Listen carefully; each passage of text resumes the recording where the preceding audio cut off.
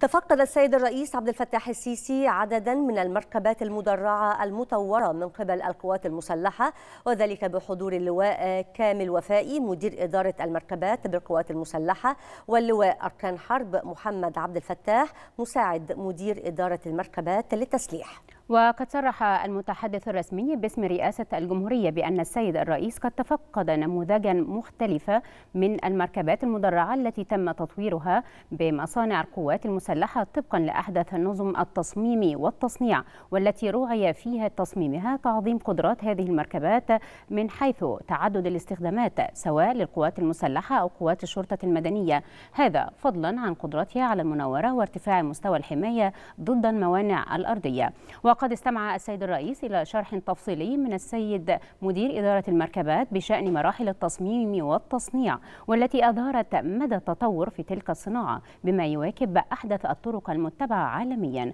وذلك تمهيدا لعرض هذه المركبات في إطار الدورة الثانية من معرض مصر الدولي للصناعات الدفاعية والعسكرية أدكس 2021 كما استمع السيد الرئيس كذلك إلى شرح تفصيلي بشأن الإجراءات التنفيذية والخطة الزمنية لتوطين صناعة السيارات الكهربائية في مصر بهدف مواكبة التطور العالمي في هذا المجال.